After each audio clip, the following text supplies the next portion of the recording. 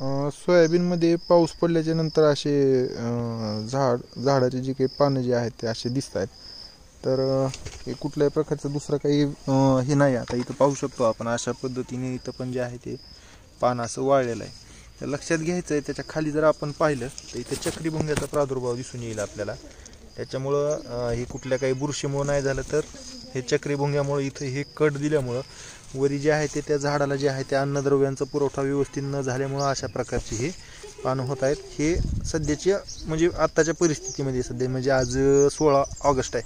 तर ती परिस्थिती मी सांगतोय. अशा पद्धतीनं चक्री काप त्याच्यामुळे हे असं कट होऊन येत आहे.